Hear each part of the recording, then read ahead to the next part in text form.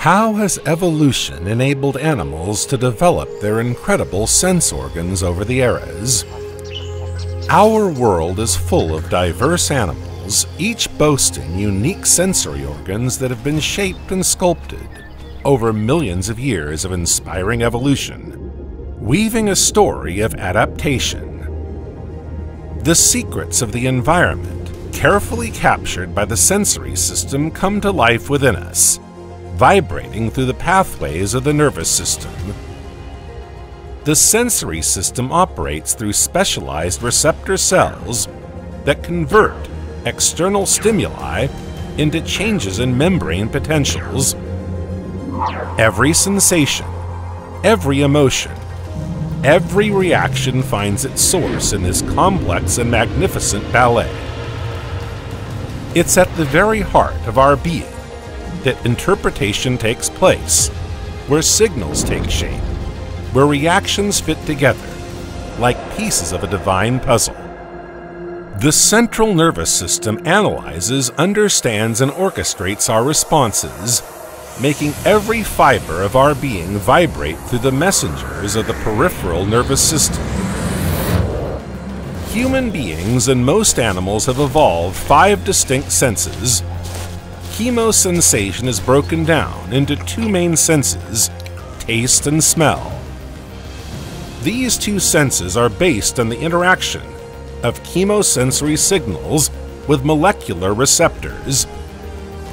All visual perceptions belong to a single sense, sight, which uses light reflected or emitted by objects to explore the surrounding environment.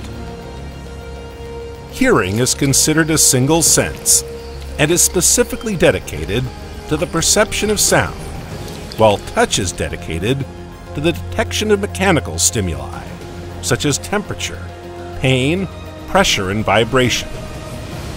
Each sensory system, whether special or general, requires sensory receptors to detect the stimulus. Different sensory receptor cells are specialized in detecting different types of stimuli and are classified according to the type of stimulus detected. Natural selection has played a key role in determining the functions of sensory systems within each species, resulting in variations in these systems according to the specific evolutionary history of each lineage. In this way, sensory receptors have evolved in parallel with the evolution of external stimuli. Dear traveler, welcome. Today we're off to discover the world of animal perception, to explore the incredible stories of adaptation and evolution that have given rise to today's rich sensory diversity. But before we set off on a new adventure, don't forget to like the video and subscribe to the channel so you don't miss a thing. Thank you, and have a great trip!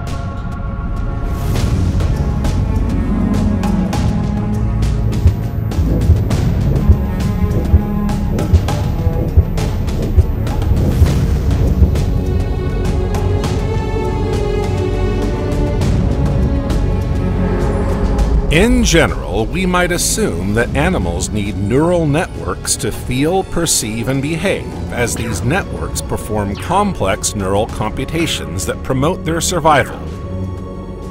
Nevertheless, amoebae and other single-celled organisms can move around and sense their environment, without the need for a complex nervous system, thanks to a process known as chemotaxis.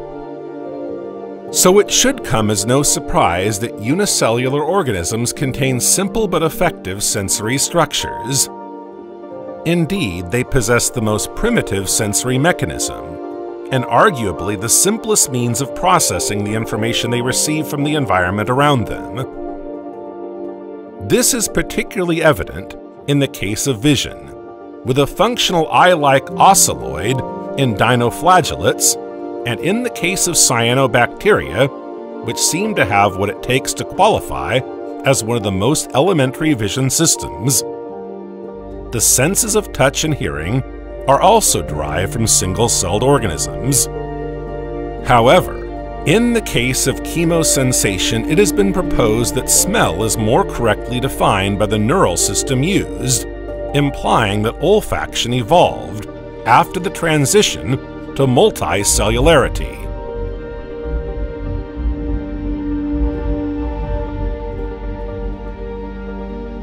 The visual pathway is undeniably one of the wonders of nature the ability to see near and far, in black and white and in color, while embracing a wide field of vision, certainly represents an evolutionary advantage of remarkable, almost miraculous magnitude. To understand the history of vision, we need to go back in time to explore the theories of eye evolution.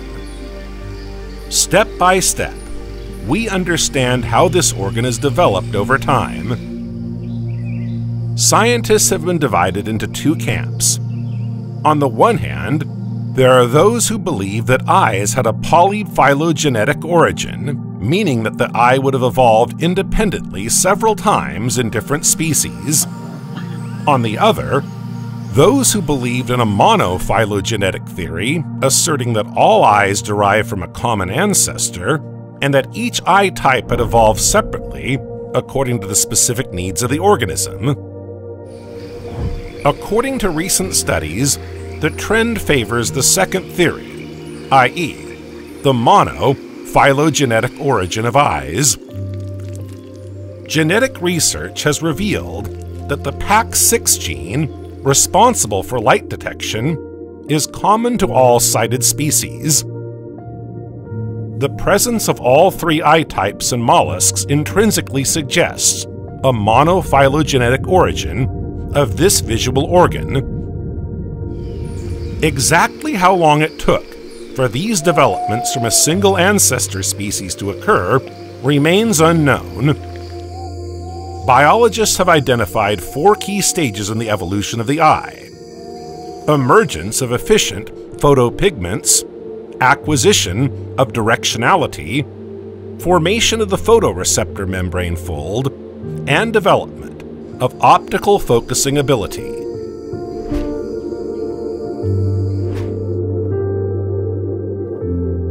Six hundred million years ago, the first organisms developed the most primitive visual organ, consisting of a single photoreceptor, composed of two distinct chemical substances, a light-sensitive receptor and a pigment.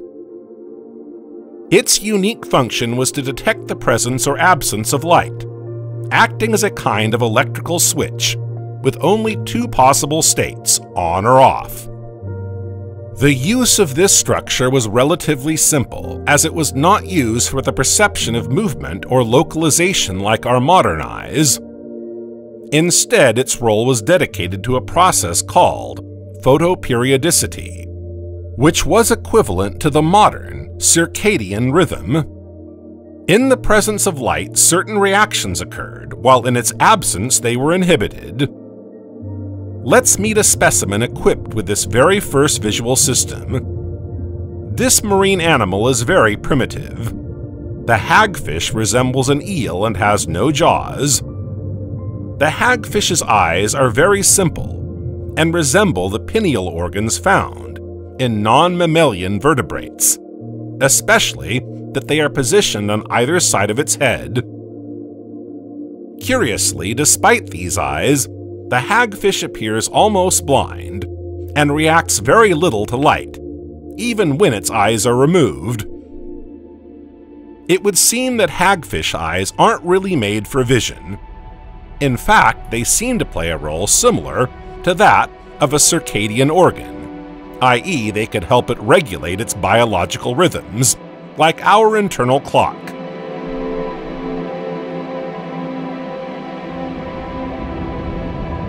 A remarkable example of the evolution of the vision system can be seen in the developmental changes observed in the eyes of lampreys.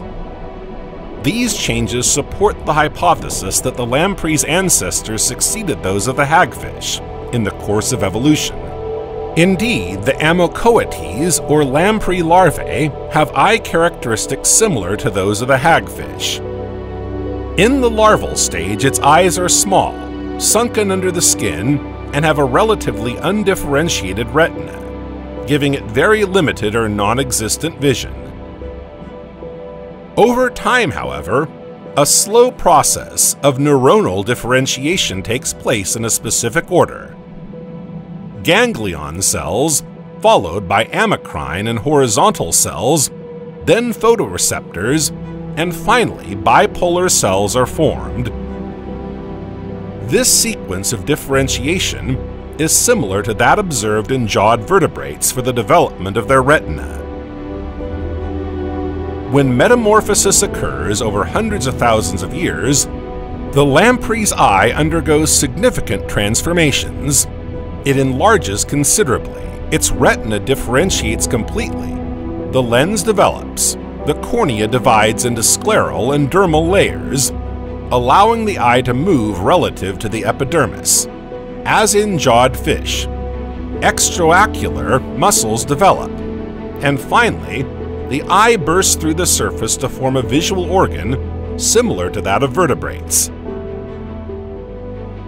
The process of eye development in lampreys suggests that these animals have inherited their visual apparatus from a common ancestor they share with hagfish. The existence of a hagfish like larval eye, which transformed into a vertebrate like eye in adulthood, supports the idea that lampreys evolved from a common ancestor with hagfish.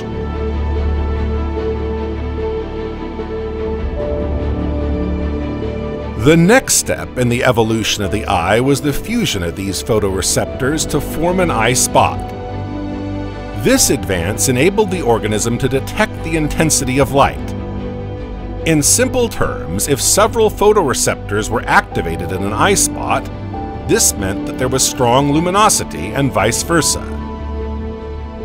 This adaptation improved the perception of surrounding brightness.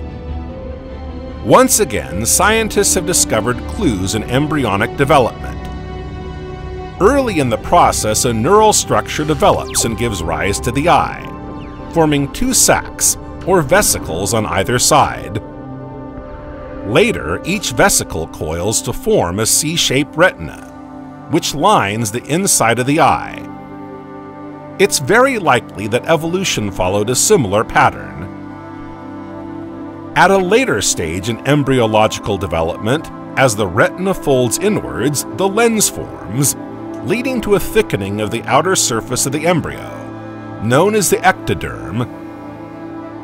The ectoderm swells into the curved space created by the C-shaped retina, gradually detaching from the rest of the ectoderm to become an independent floating element it is likely that a similar sequence of changes took place in the course of evolution. The exact date of this change remains unknown, but in 1994, researchers at Lund University in Sweden demonstrated that the optical components of the eye could evolve relatively rapidly, within the space of a million years. If this is the case, it is conceivable that the image-forming eye emerged from the non-visual proto-eye in a short period of time on the geological scale.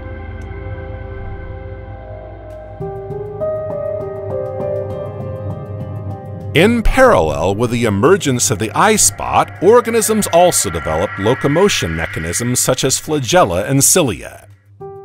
These developments led to the need to localize the light source. To fulfill this role, Several eye patches fused together to form an eye patch, like a patchwork quilt. These eye patches enabled the organism to roughly locate the light source and orient itself in its direction.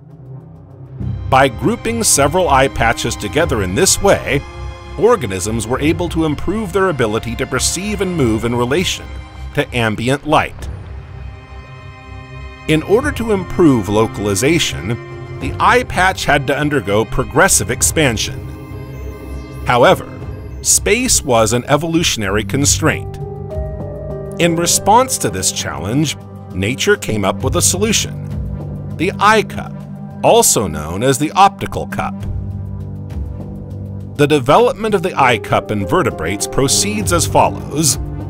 The eyes take shape from evaginations of the developing diencephalon, depressions known as optic grooves form on either side of the rostral neural plate.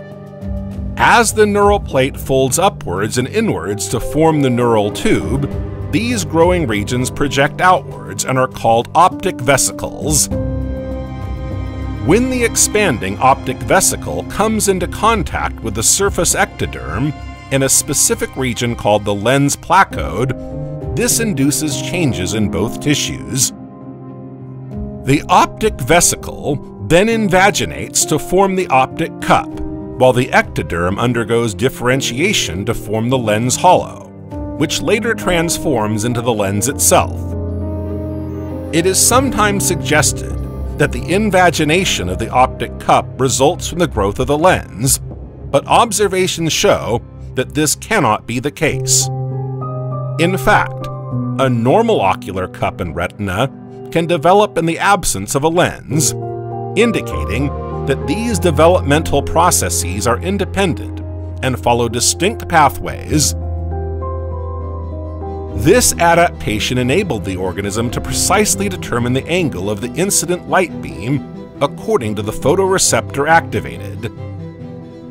Thus, the optic cup played an important role in improving the ability to localize the light source, despite the spatial constraints faced by the organism.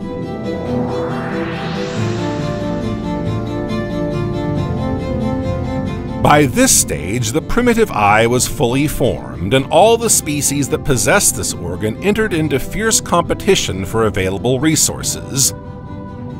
This competition gave rise to a major evolutionary event, known as the Cambrian Explosion, which occurred around 540 million years ago. Scientists argue that the evolution of the eye accelerated rapidly during this period as precise detection of prey and light gave organisms a survival advantage. So the better the eye, the better the organism's ability to survive. This selective competition for improved visual systems played a key role in the rise in diversity and complexity of animal species during the Cambrian explosion. After the Cambrian explosion, the next period saw the evolution of two essential eye structures the iris, followed by the lens,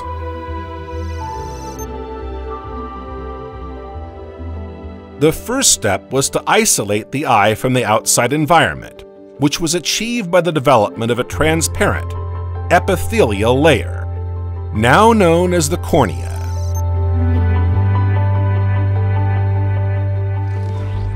Once the light detection system had been separated, the next evolutionary advantage was the ability to focus.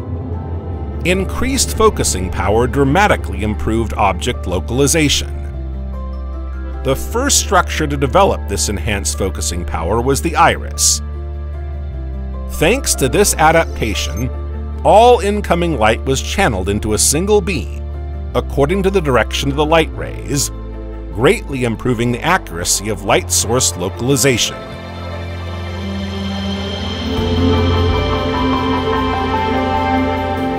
The next major development was the crystalline lens.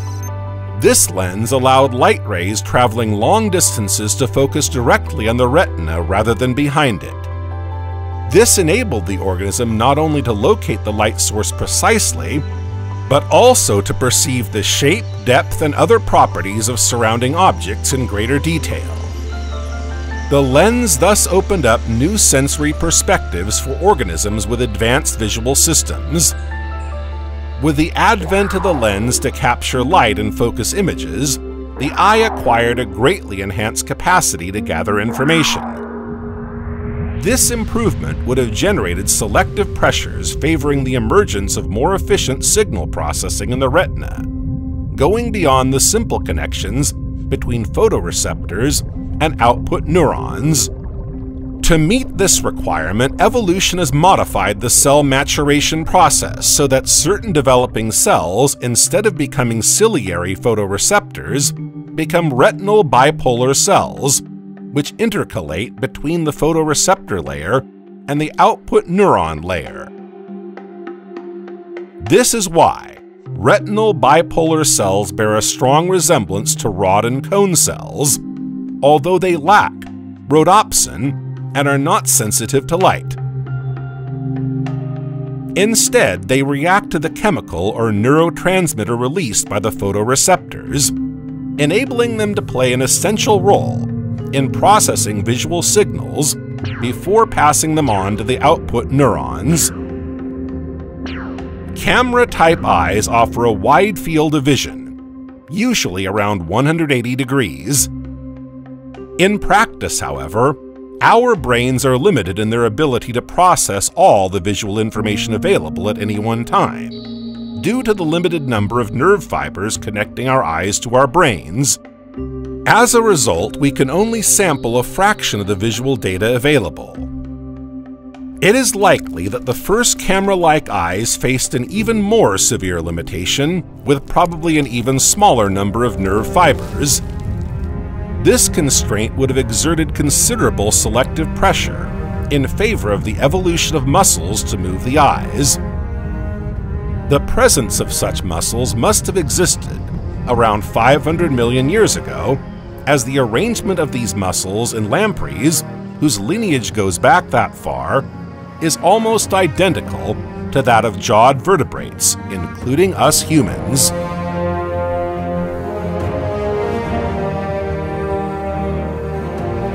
Despite the ingenious features of vertebrate eye evolution, a number of rather counterproductive traits can be identified. For example, the retina is positioned upside down, which means that light has to pass through the entire thickness of the retina, including nerve fibers and intermediate cell bodies that scatter light and impair image quality before reaching the light-sensitive photoreceptors, in addition, blood vessels cover the inner surface of the retina, casting unwanted shadows on the photoreceptor layer. Another tricky aspect is the presence of a blind spot, where nerve fibers that cross the surface of the retina come together before tunneling through it to emerge as the optic nerve at the back of the eye. This list of inelegant features could be extended to include other examples, these imperfections are by no means inevitable features of a camera eye, as octopuses and squids have evolved independently of camera eyes which do not have these defects. Examining the vertebrate eye in an evolutionary context highlights these seemingly absurd shortcomings as the consequences of an ancient sequence of evolutionary steps, each of which brought advantages to our vertebrate ancestors long before they developed advanced vision. The eye has evolved in many different ways over time, giving rise to a variety of features in different species. Jellyfish, for example, have eyes, and although they have no brain, these eyes transmit information directly to the muscles for rapid reaction. Nautiluses have an aperture without a crystalline lens, adopting a different focusing mechanism. Flies, on the other hand, have many eyes, giving them a wider field of vision. The diversity of ocular adaptations continues with predators, which have forward-facing eyes for better depth perception, while prey have lateral eyes, offering a wide field of vision for detecting potential dangers. In the case of humans, they have developed the ability to artificially correct their vision using devices such as spectacles, enabling them to compensate for certain visual imperfections. Ultimately, the list of ocular adaptations is truly infinite, with each species evolving uniquely to suit its environment and specific needs.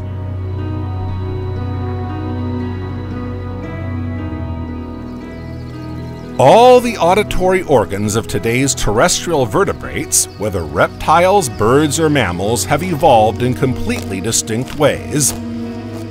Ciliated cells, the sensory cells at the base of the auditory organs of all vertebrates, emerged very early in the evolutionary history of animals.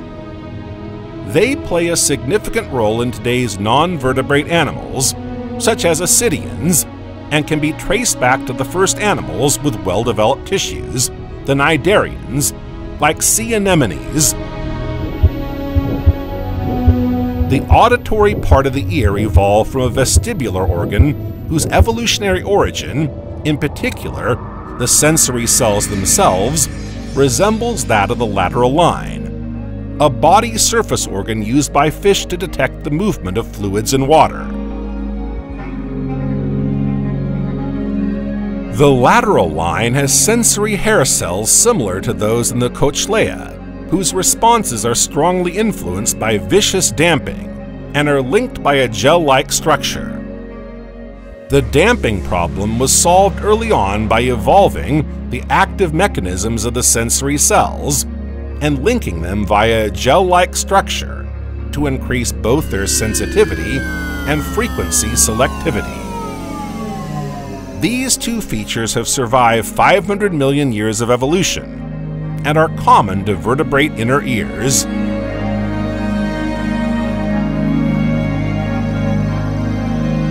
During the Carboniferous period, from minus 359 to minus 299 million years ago, tetrapod ancestors successfully migrated to terrestrial life, paving the way for further adaptations of existing sensory systems, including hearing, from aquatic to terrestrial life. Thus, over hundreds of millions of years, progressive adjustments were made to these organisms so that they could adapt to higher frequency stimuli, first in an aquatic environment and then in an aerial one. It is assumed that the ancestors of amniote vertebrates had a limited hearing capacity for loud, low frequency sounds, as they lacked a tympanic middle ear.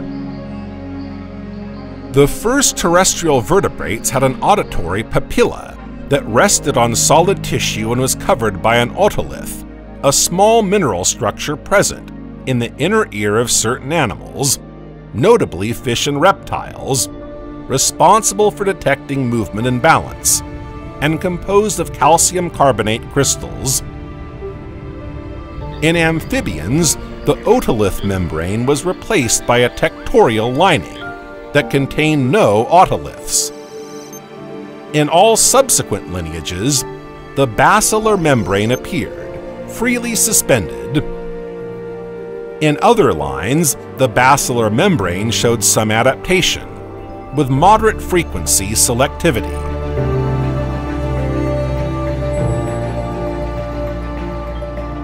Around 100 million years after the separation of the tetrapod lineages during the Triassic period, at least five independent developments of tympanic middle ears were observed.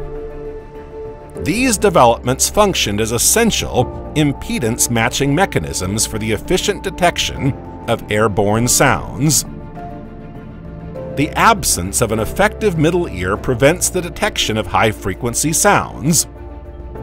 This gave rise to parallel evolutions leading to major differences in the auditory systems of tetrapod vertebrates between different clades, while ultimately fulfilling the same function detecting, transmitting, transducing, and encoding airborne sounds. Paleontological, morphological, and developmental evidence suggests that lepidosaurs, such as lizards and snakes, as well as archosaurs, which include birds and crocodiles, independently developed a middle ear, composed of a single ossicle. Firstly, in birds and crocodilians, the structure of the auditory organ shows marked similarities, such as the presence and distribution of similar cell types. It is therefore reasonable to assume that this structural configuration was reached or initiated at the latest around the separation of their ancestral lineages some 160 million years ago. Similar reasoning applies to lepidosaurs. In Tuataras, which separated early from other lepidosaur lineages, the cellular configuration of the auditory papilla is similar than in lizards, In tuataras, as in turtles, there is only one type of ciliated cell, and all ciliated cells have the same orientation. Thus, the more complex structure typically seen in lizards seems to have arisen after the tuatara lineage separated from the squamates. However, it is not known whether lepidosaurs, including the tuataras, developed a tympanic middle ear all at once. Finally, in mammals, the characteristic structure of the auditory organ, known as the organ of Corti, is essentially found in all recent groups of mammals, although there are marked differences between monotremes and therian mammals. We can therefore assume that the organ of Corti appeared before these lineages split, between 220 and 150 million years ago.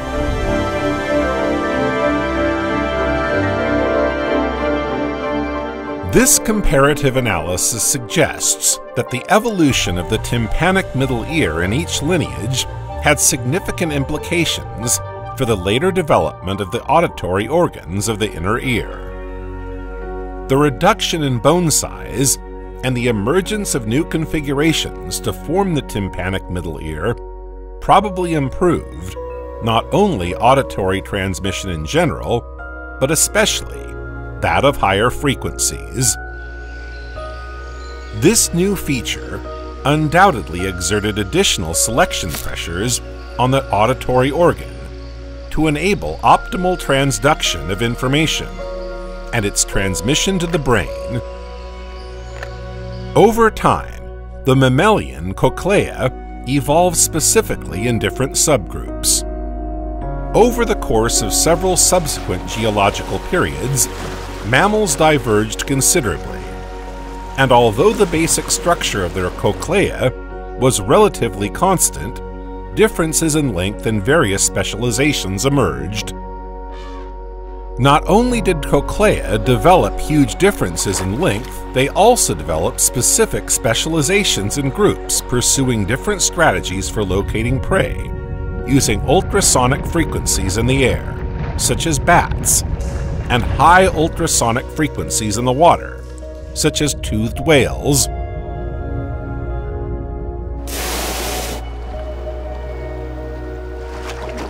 For example, some bat species have developed cochlear regions where the length of the organ of Corti, dedicated to specific narrow frequency ranges, is considerably enlarged.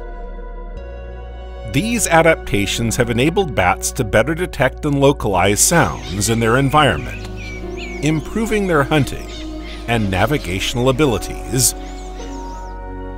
On the other hand, there is no reason to expect mammalian auditory organs to be necessarily superior or more sophisticated than those of other groups. Each present day vertebrate group has developed an appropriate auditory solution according to the evolutionary pressures dictated by the environment, predator prey relationships, and intraspecific communication needs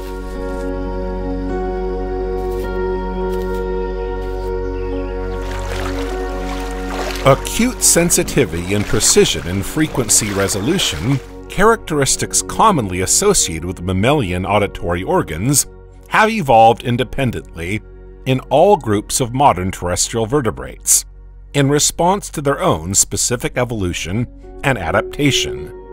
Indeed, some species of lizard possess auditory nerve fibers tuned to some of the finest frequencies of any vertebrate, including most mammals. Birds of prey, particularly owls such as the barn owl, rely almost exclusively on hearing to locate their prey, so auditory sensitivity exceeds that of most mammalian species. Echolocating mammals such as bats and dolphins exhibit a wide range of hearing frequencies, a characteristic almost equaled by certain species of frog which use ultrasonic calls to communicate.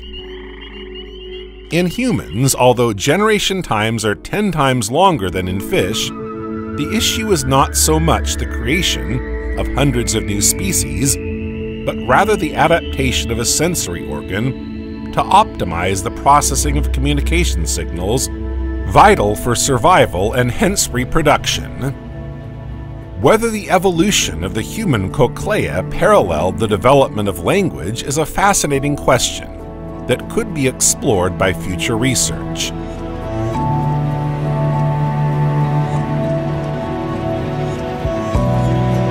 All living cells are irritable to certain chemicals, and this predisposition of cells to be perturbed by chemicals is likely to have led to the eventual evolution of specific receptor proteins to detect chemical signals, and ultimately to specific chemosensory organs and systems, such as the sense of smell.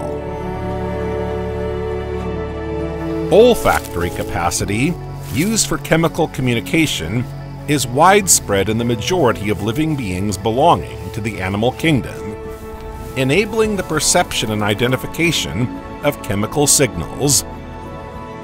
The sensitivity and chemical range of animals' olfactory systems are remarkable, giving them the ability to detect and distinguish between thousands of different odor molecules.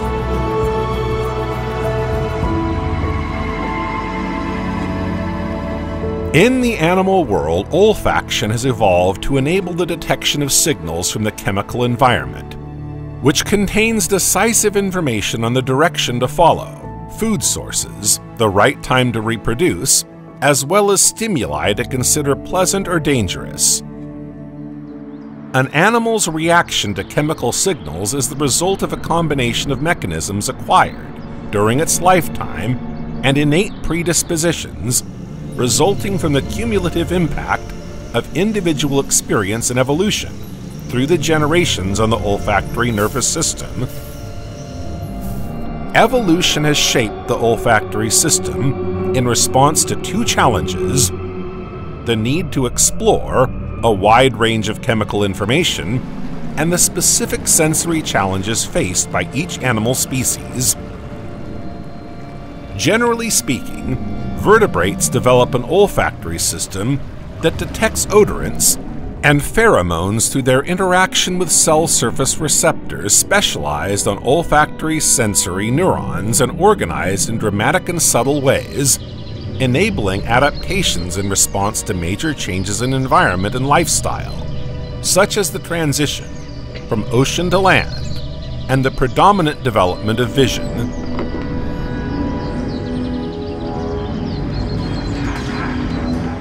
In terrestrial vertebrates and insects, we often think of olfaction as a chemosensory modality dedicated to the detection of low concentrations of airborne volatile chemicals.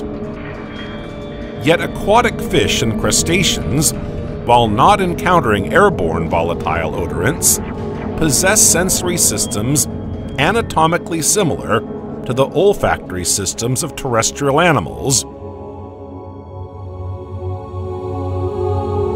For these aquatic animals, odors are sapid molecules in solution. Olfaction is therefore not necessarily the detection of volatile molecules in the air.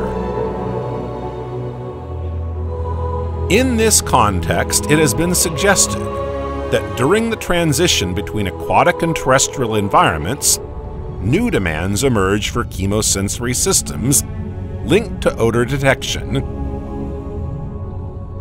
this happened in a remarkable way, as olfactory stimuli evolved from hydrophilic to predominantly hydrophobic and volatile compounds. This transition granted terrestrial vertebrates an evolutionary option to detect volatile water-insoluble odorants. As a result, it is thought that the complex biosynthetic pathways required to produce volatile compounds, as well as the highly complex combinatorial coding that characterizes olfactory perceptions, driven by olfactory receptors, emerged suddenly in just a few hundred thousand years. Comparative genomic and phylogenetic studies argue that chemosensory receptors were conserved across aquatic and terrestrial taxa, and that mammalian like olfactory receptor genes evolved in marine environments before the first vertebrates appeared. These changes in olfactory receptors at protein level, altering their interaction with odorant molecules, play a key role in the evolution of olfactory perception. However, researchers have discovered that this adaptive evolution of olfactory perception can also be influenced by co expressed olfactory receptors undergoing changes in copy number and protein sequence.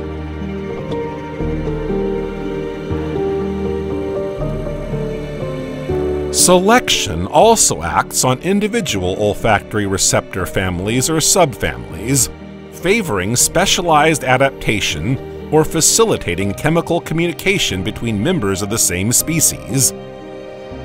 Finally, genetic variation among the thousands of unique olfactory receptor genes can lead to behavioral modifications in response to specific chemical signals.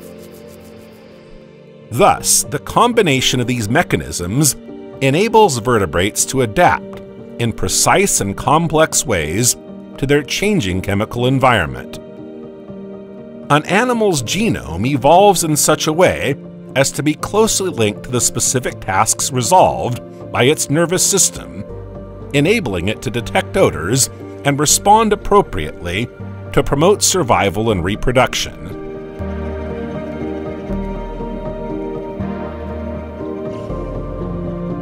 Recent studies have revealed the presence of ancestral versions of synaptic genes involved in fundamental neuronal communication in various organisms without a nervous system, suggesting a progressive evolution of olfaction. In parallel, studies have clarified that the olfactory capacities of multicellular organisms, as well as chemosensory learning abilities, evolve from life forms not equipped with complex neural networks. In particular, prokaryotes have been proposed as model systems for understanding the evolution of olfactory systems in higher organisms. In fact, bacteria respond to volatile chemical gradients, but also use contact dependent signaling. In addition, a unicellular but multinucleate eukaryotic organism, Physarum polycephalum, has been shown to be capable of chemosensory detection. Studies have shown that olfactory receptor cells are primary bipolar neurons with a similar morphology between species. They have filamentous dendrites to increase the surface area for stimulus capture and an axon that extends to the central nervous system. Dendritic processes are mainly of ciliary origin in most animals. Although the overall morphology is conserved, the fine details of olfactory receptor cell morphology can be adaptive, i.e., they can vary in a habitat dependent rather than species dependent manner. For example, the olfactory receptor cells of land-dwelling crustaceans, such as the giant thief crab, have a morphology closer to that of insects than to that of marine crustaceans. Crustaceans share a common ancestor with insects, and as they lack olfactory receptors, it has been proposed that these receptors evolved when prehistoric insects left the sea to live on land. According to this idea, olfactory receptors evolved because these ancestors must have been able to detect odorous molecules floating in the air, rather than dissolved in water. But a recent discovery contradicts this hypothesis the discovery of a new type of olfactory receptor, ionotropic receptors, IR, has changed the order of things and opened up new avenues of inquiry into the evolution of olfactory receptors throughout the history of life. These new olfactory receptors are present in crustaceans, in which no classical olfactory receptor had been found until now. Since crustaceans were the first to appear in the history of life, before insects and before vertebrates, we can assume that these IR were inherited long before the appearance of the first insects.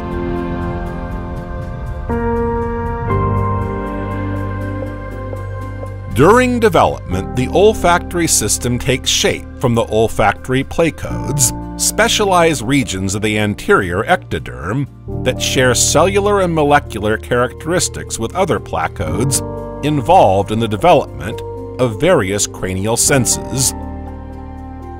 Certain cell types of the olfactory system preceded the appearance of vertebrates, as did certain mechanisms involved in placode formation it is likely that these two elements were already interconnected in the common ancestor of vertebrates and tunicates.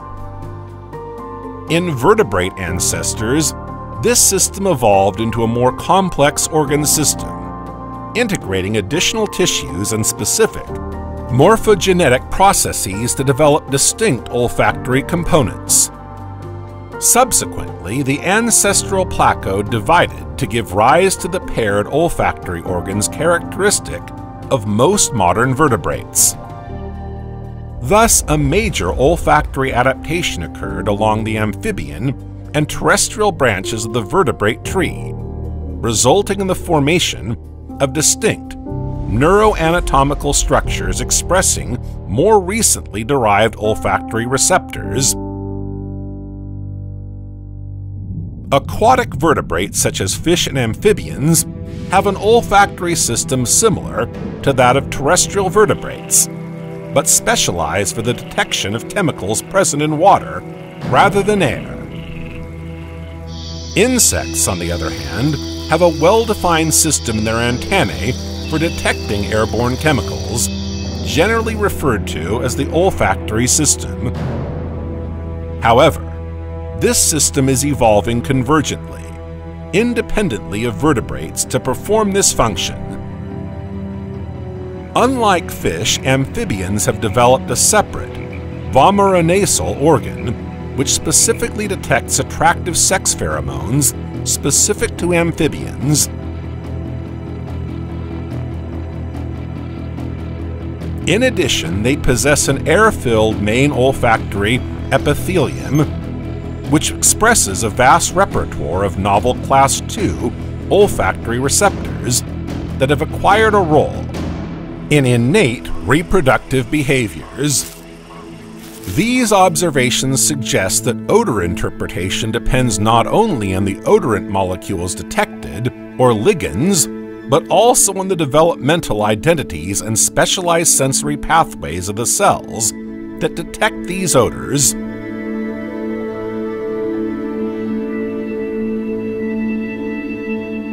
Recent evidence shows that individual mammalian olfactory receptor cells can be activated by several different odorants, and that individual odorants activate several receptor cells expressing different receptor proteins. This combinatorial coding is also present in insects and fish, suggesting that it has been conserved in the evolution of olfaction Consequently, there are striking similarities between species in the organization of the olfactory pathway, from the nature of olfactory receptor proteins to the organization of the olfactory central nervous system. Although there is a striking evolutionary convergence towards a conserved organization of signaling pathways in vertebrate and invertebrate olfactory systems, the receptor gene families involved have evolved independently. These common organizational features span a wide phylogenetic range of animals. Such conservation also implies that there is an optimal solution to the problem of odor detection and discrimination. Either this solution evolved relatively early and was then retained in evolution, or more likely, animals convergently developed identical or similar solutions to the odor detection and recognition problem.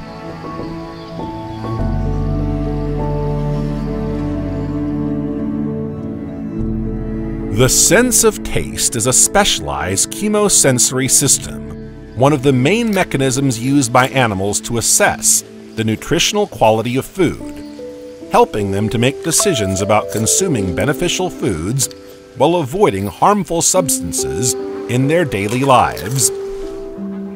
Unlike touch, vision, hearing, or olfaction, which are called upon in different behavioral situations, the sense of taste has evolved to play a primordial role in food regulation and motivation. Taste systems detect essential nutrients, as well as harmful substances in food, and trigger innate behaviors that lead to the acceptance or rejection of potential food sources. Most vertebrates can perceive five basic taste modalities bitter, umami, sweet, salty, and acidic. All vertebrates have some ability to avoid harmful chemicals and seek out nutrients. It is thought that each sense of taste has evolved to detect and motivate the consumption of essential nutrients, and also to detect and avoid potential poisons.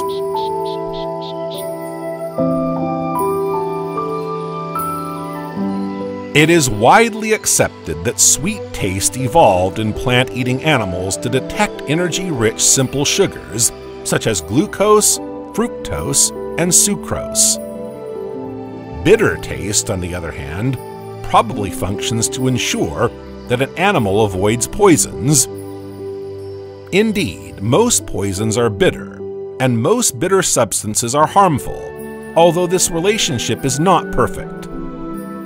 The salty taste allows the detection of sodium, an absolutely essential mineral. When certain species of animal lack sodium, and this usually occurs in herbivorous animals, a powerful appetite for salty taste is aroused. And for many species, salt is consumed even when there is no apparent need. As for the sour taste, many have suggested that it is involved in detecting fruit ripeness. Finally, the fifth basic taste, umami, probably serves to signal amino acids and proteins. By comparing animals from different branches of the evolutionary tree, researchers have deduced that the sense of taste probably evolved over 500 million years ago. This would have occurred before the divergence of terrestrial vertebrates, bony fish, sharks, and lampreys, when their common ancestor, a primitive fish, developed a new type of cell. These chemosensory taste receptor cells, located in taste buds, are able to detect chemical stimuli and send signals to the brain via the taste nerves to generate taste sensations Taste buds are the gustatory end organs in vertebrates ranging from lampreys to mammals. These end organs respond to a variety of sapid chemicals and transmit signals to afferent nerve fibers from three cranial ganglia facial, glossopharyngeal, and vagus.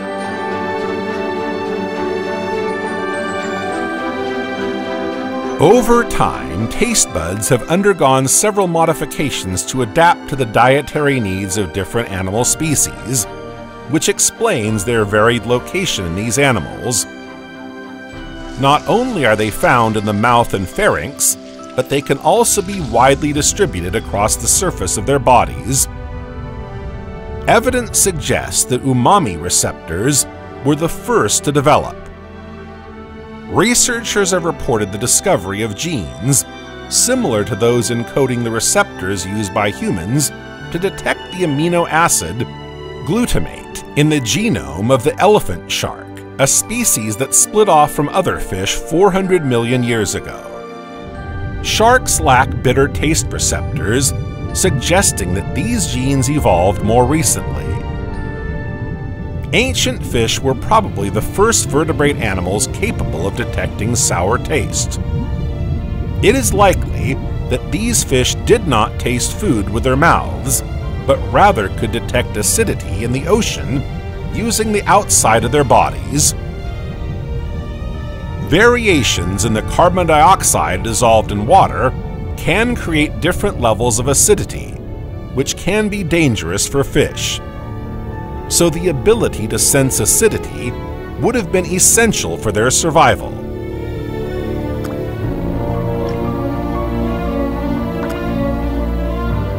Bitter taste is perhaps the taste that most intrigues evolutionary biologists. It's the Darwin's finch of taste, engineered and customized to suit a species' ecological niche. Humans have 24 or 25 different bitter receptors, depending on the individual, each recognizing unique combinations of chemicals toxic bitter compounds come in all shapes and sizes, so it makes sense that the receptors that recognize them are diverse. The evolution of bitter taste, therefore, also involves distinguishing between different chemicals. The diets of humans and their ancestors are mainly based on plants, which are an abundant and accessible source of nutrition. However, plants have developed physical, reproductive, and chemical defenses to protect themselves from herbivores. Herbivores must therefore contend with various obstacles such as thorns, shells, and symbioses with defending animals. Herbivores have developed various strategies to overcome the toxic defense mechanisms of plants. Among these, a particularly effective and widespread method in vertebrate animals is the detection of bitter flavors. It has long been widely recognized that many plant toxins are perceived as bitter, creating a powerful mechanism for minimizing exposure to these harmful substances.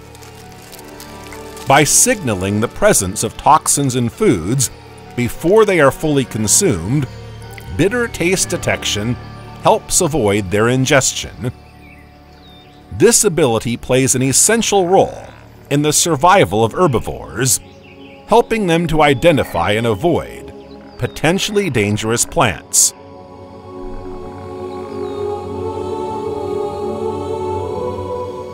The ubiquity of bitter perception in vertebrates and its complex role in humans have raised questions about its evolution.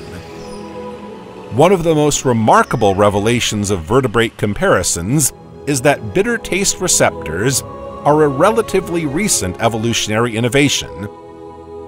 While they are present in bony fish, lobe-finned fish, and tetrapods, they are not found in cartilaginous fish. Thus, bitter taste receptors must have first appeared in an aquatic species around 430 million years ago. This makes them the most recent of the chemosensory receptor families in vertebrates. The origins of the receptors involved in taste perception in animals are the subject of much speculation. Similarities between the evolution of vascular plants and the Cambrian explosion in animals suggest that the origin of these receptors may be linked to an important transition in plant to herbivore interactions. However, there is also evidence that these receptors play other roles, such as detecting nutrients in the gut, suggesting that their function as taste receptors may have emerged later.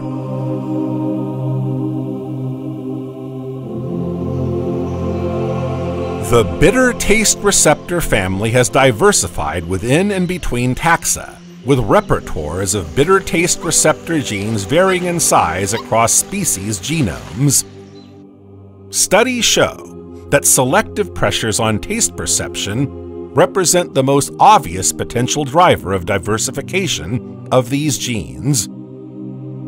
Fish have different numbers of genes, ranging from 1 in Amazon molly to 74 in coelacanth, but most fish have an intermediate number of genes.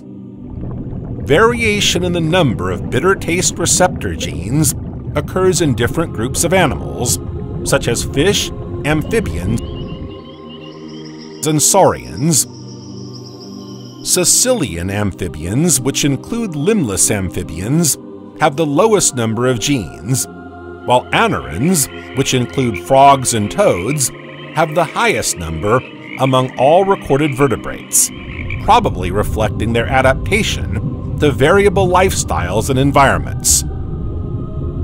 In fact, most frogs and toads inhabit both aquatic and terrestrial niches, which necessarily contain a greater variety of toxic substances.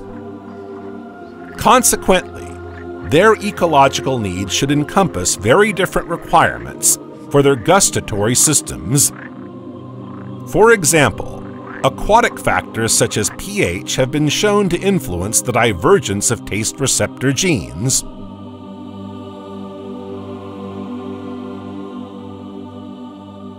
Most frogs feed on worms, insects, and other small arthropods, which contain more potentially toxic substances.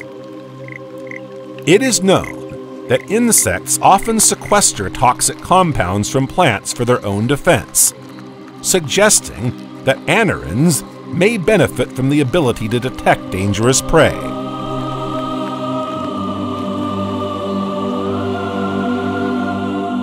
While caecilians are animals adapted to life underground, living in soil layers rich in organic matter, they build tunnels to get around. All caecilians are carnivores, feeding on earthworms, plathelminths, arthropods, frog eggs, and tadpoles.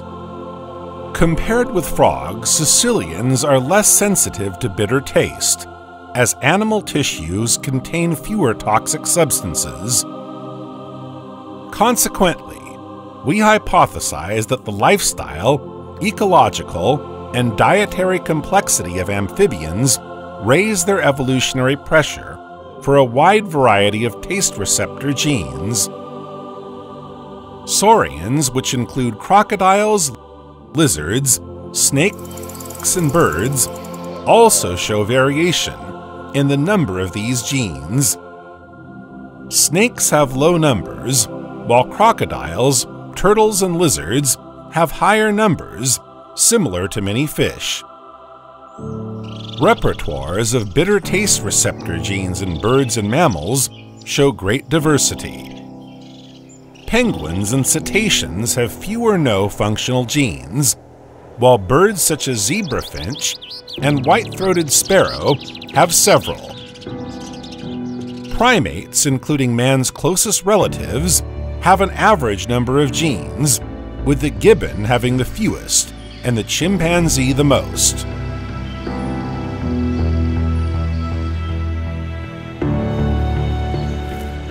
Although toxins are a threat to all herbivorous animals, not all species are equally exposed, this variability is reflected in the size of genetic repertoires, which is related to the proportion of plant-based diets for each species. This trend is particularly marked with herbivores having larger repertoires than carnivores. The most extreme example of this variation is found in obligate carnivores such as whales, penguins, and pinnipeds, which swallow their food without chewing resulting in a total absence of certain genes linked to toxic detection.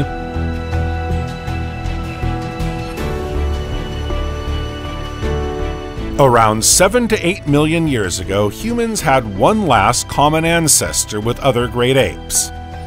If we look at the current eating habits of great apes, we can deduce the diet of our common ancestor. It seems that this species was omnivorous, feeding mainly on tropical fruits, and also included leaves and insects in its diet. Chimpanzees, our closest relatives, rely heavily on fruit for their caloric intake, with a small proportion of their diet coming from animals such as other apes and insects. Between 4.4 and 2.3 million years ago, human ancestors left the forest for the savanna and other ecosystems, and their food repertoire expanded considerably. Thus, over time, early hominids gradually abandoned the eating habits of forest monkeys and increased their ability to obtain a variety of nutrients in order to adopt a more diversified outdoor diet. Despite this dietary evolution, our need for fruit and our attraction to sugars and acids, shared with other great apes, remained intact.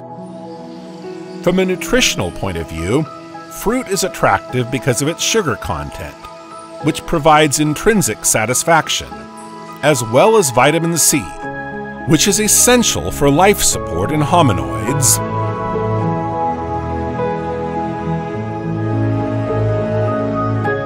The question of why humans are sensitive to acidic flavors and even inclined to prefer acidity has sparked debate in the scientific community.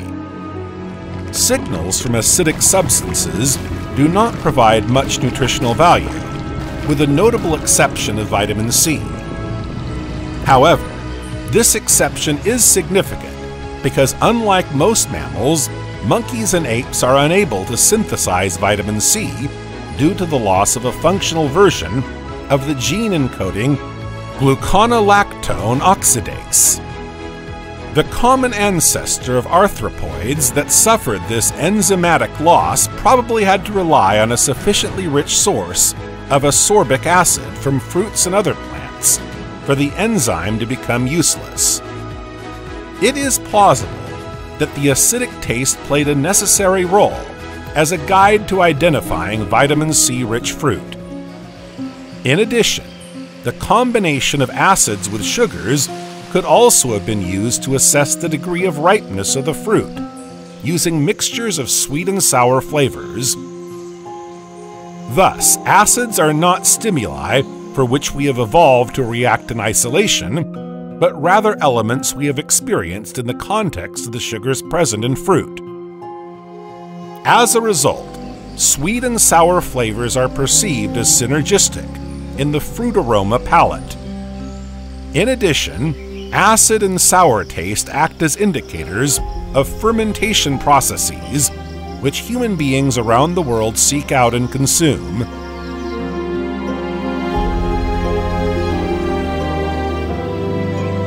Wild apes depend mainly on forest plants, especially young leaves, for most of their daily protein intake. Nevertheless, early hominids and modern humans have shown a preference for consuming slightly more digestible protein sources, such as meat. Although umami taste is not immediately apparent in fresh meats, it develops significantly in aged or cooked meats. Consequently, it seems that chimpanzees do not possess a gustatory system specifically dedicated to detecting the taste of glutamate or ribonucleotides, even though they can perceive these stimuli. The characteristic umami taste of hydrolyzed protein is mainly carried by glutamate and ribonucleotides. Humans have developed a preference for glutamate ribonucleotides, and umami taste, probably as signals indicating more easily digestible proteins in lightly aged or cooked meats.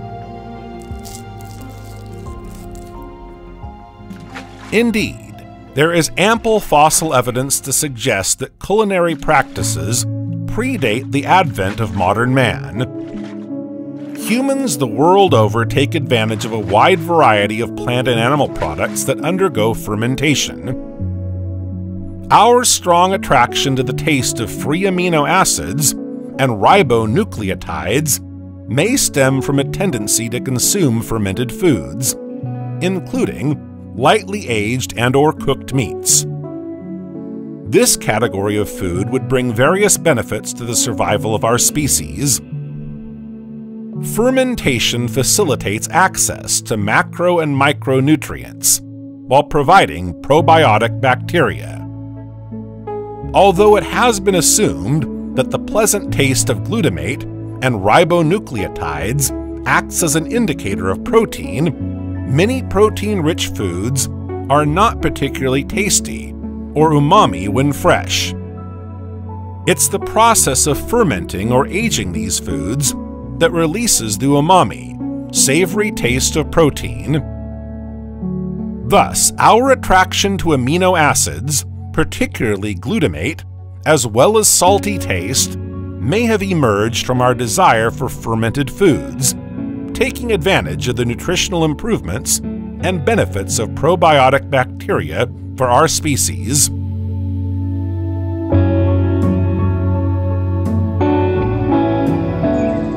Humans stand out from other mammals thanks to a unique phenomenon a large scale polymorphism of the salivary amylase gene. This change in our genetics could be the result of our past history linked to the consumption of starch rich tubers and could have occurred around 100,000 to 200,000 years ago.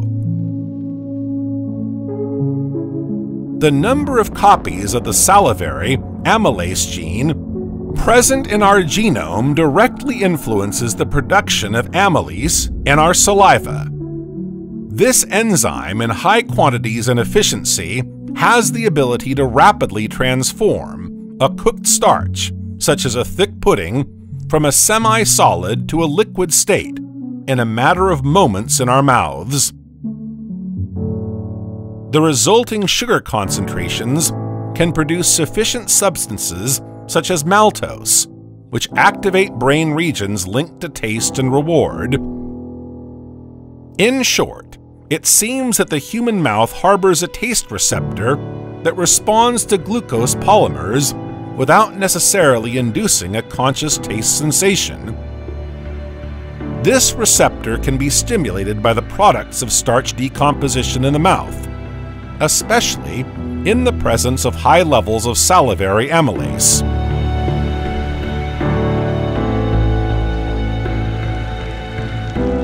Human beings have a natural tendency to seek out the taste of salt in food. We find the taste of moderate concentrations of salt very appealing, as do other omnivores. But high levels of salt are considered unpalatable to us, as they disrupt the osmotic balance of our body fluids. Salt is a widely used ingredient in food preparation throughout the world, and individuals from different cultures consume roughly the same amount of salt every day.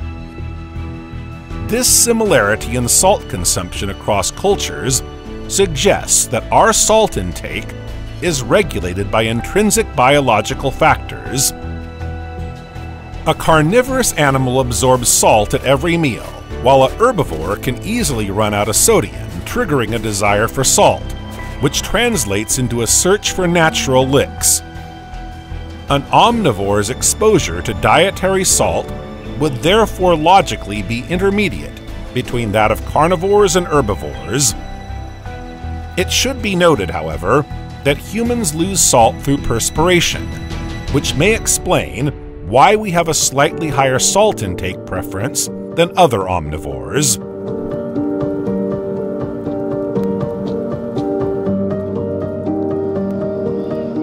Since our earliest prehistoric ancestors, the sense of touch has been central to our survival and reproduction. What we touch can have a direct impact on our ability to survive and reproduce. It may be a predator, prey, or parasite, a parent, lover or child, shelter or danger, a tool or food source, the ground beneath our feet, or the branch we use to swing. It's also the first sense to develop, with some fetuses responding to touch in the womb after just eight weeks. Evolution has created a tactile system made up of different sensors and receptors, which together detect the qualities of what touches our body and what our body touches, such as weight, temperature, and texture, so that we can deduce useful information.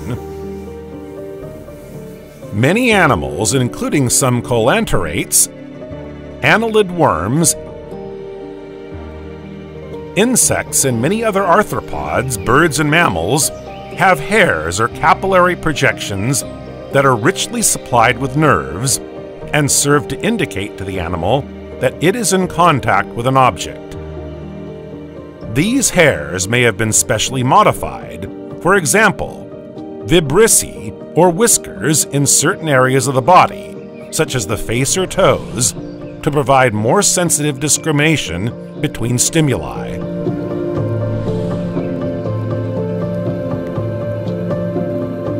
A second type of tactile receptor, the subcutaneous receptor, is found in the skin. Receptors of this type are found in almost all animals and may consist of free nerve endings or complex corpuscles. Unicellular organisms already possess the capacity for directional detection of tactile stimuli, as can be seen in ciliates such as paramecia which move away from the stimulus source following mechanical disruption of their outer membrane. Sponges, the simplest multicellular animals, do not possess neurons, but they do have the capacity to respond to variations in water flow and pressure in response to the movement of their immobile cilia. However, the evolution of neural conduction has led to a radical change in the ability to respond rapidly and flexibly to tactile stimuli. Cnidarians such as jellyfish and hydra, despite their relatively simple nervous systems, can exhibit coordinated patterns of motor response to sensory stimuli, and many have a rich capacity to respond to touch. For example, Hydra nematocytes are structures that provide a good model for understanding the mechanoreceptors of more complex invertebrates. In jellyfish, groups of hair cells called tactile combs regulate complex behaviors, including escape, feeding, and locomotion. The advantages of sensitivity to mechanical stimuli provided by hair-like structures may have encouraged their convergent evolution in several animal lineages. For example, the ciliated cells of jellyfish appear to be sufficiently different from those of vertebrates that a common origin for both is unlikely.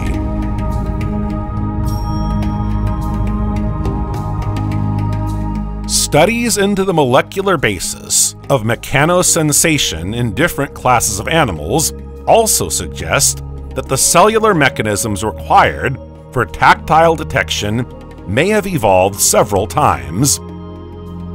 All animals with a central nervous system respond to touch. The nematode, Sanor habditis elegans, is an important model organism in neuroscience. It is the first animal system in which the entire neural network involved in tactile behavior has been identified. This worm has mechanosensory cells located in the integument beneath the cuticle linked to six sensory neurons, 10 interneurons, and 69 motor neurons. In larger, probably more advanced animals, touch-induced behavior becomes more versatile and complex. The leech has developed a central nervous system with a succession of ganglia for each segment. Each ganglion houses three groups of mechanosensory neurons, all of which respond to mechanical stimulation of the body, but with different response thresholds. Tactile cells are the most reactive and respond to the gentle touch of the body wall. Pressure cells respond to more intense tactile stimuli, while nociceptive cells are sensitive to very powerful and potentially harmful stimuli.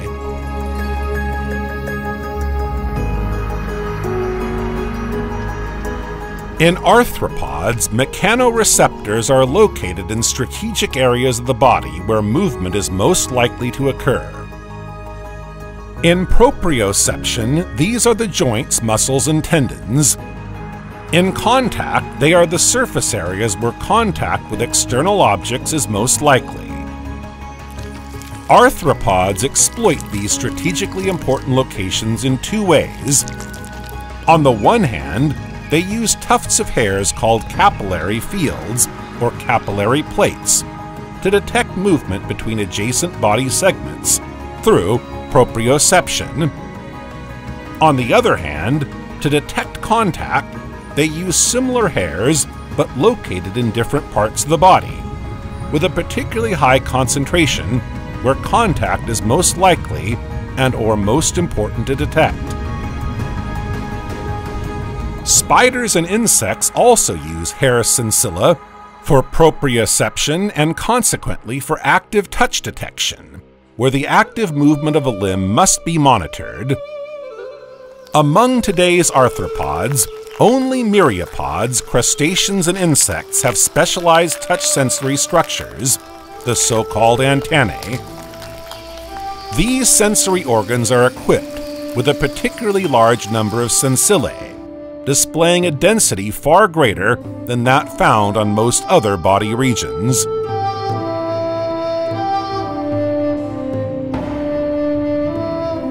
Crustaceans have two pairs of antennae, while insects have only one pair.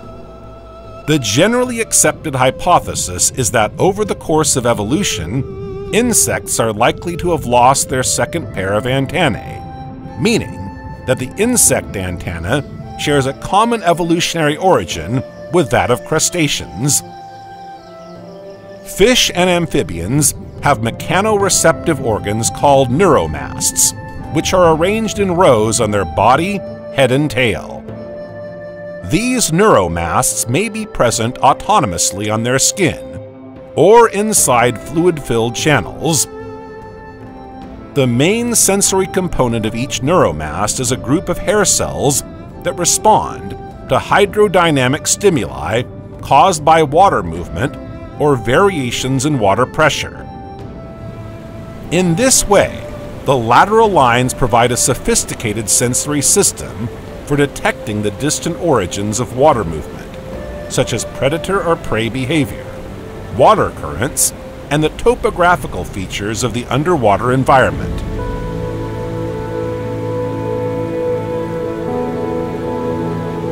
Mammalian skin evolved from the integument of earlier vertebrates in a complex evolutionary process that is still only partially identified. What is clear is that the first mammals, or perhaps their reptilian, therapsid ancestors, redeveloped hair as an adaptation of the outer epidermal layers of their integument. While dense hair clearly has a thermoregulatory function the evolution of hair in mammals cannot be attributed solely to the goal of regulating body temperature.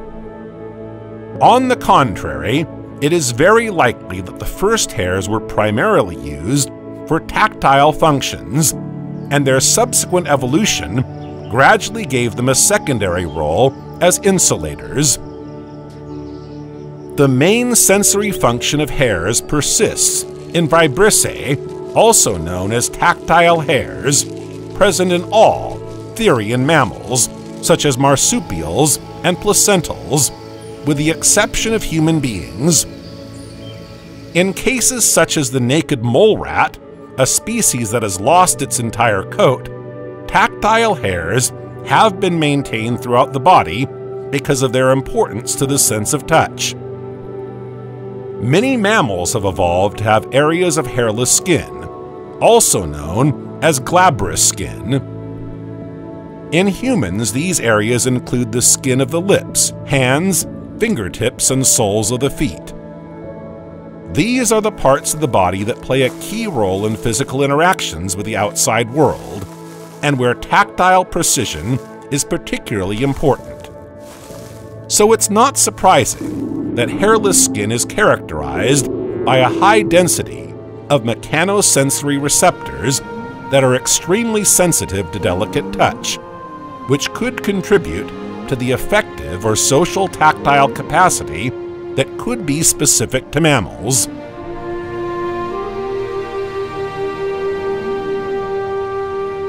Only mammalian species have elongated facial vibrissae, also known as vibrassae, which extend outwards and forwards from the animal's snout.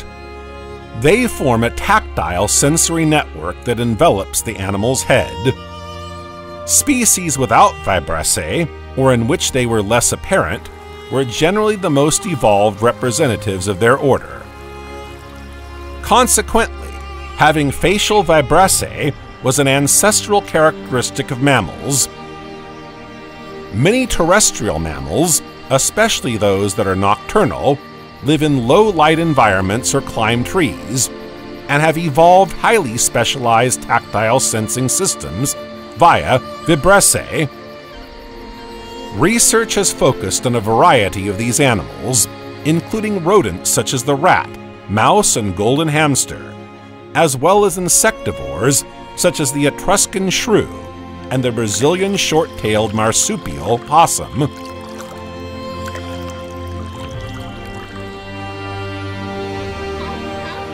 In some seal species, vibrissae have adapted to detect disturbances left in the water by fish. By measuring these hydrodynamic flow fields, these animals are able to track and capture fast-moving prey in total darkness. Deep-sea foraging pinnipeds, such as the bearded seal and walrus, have evolved a highly specific vibrissal adaptation designed to optimize their efficient search for shellfish and other invertebrates in the muddy layers of the seabed. The abundant, dense, and mobile vibrissae of these animals combine to form a kind of sensitive, tactile rate that enables them to detect and ingest their prey at exceptionally fast speeds Manatees have vibrissae distributed throughout their bodies to compensate for the limited visual information available in their natural environment. The manatee's ability to move efficiently through rough waters suggests an overall body ability to perceive hydrodynamic signals to the sensitivity of its vibrissae, which has interesting parallels with the lateral line of fish these adaptations underline the importance of vibrissal touch detection in the ecology of many aquatic mammals.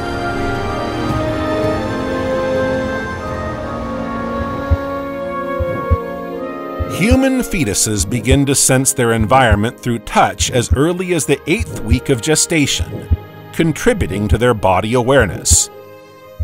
After birth, the mouth evolves to become the primary means of discovering surrounding objects. But this haptic focus shifts to the hands as we grow older.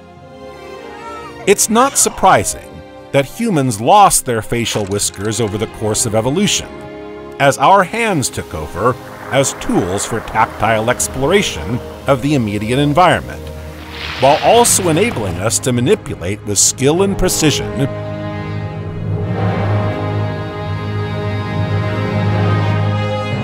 Unicellular and multicellular organisms have developed different strategies to ensure their survival and communication with their environment. These strategies include molecular, anatomical, and physiological systems that enable them to detect and respond to chemical signals from other cells or organisms. These communication mechanisms are the result of organisms' ongoing adaptation to environmental factors and biotic interactions. Over time, organisms have developed adapted receptors that enable them to detect and respond to specific signals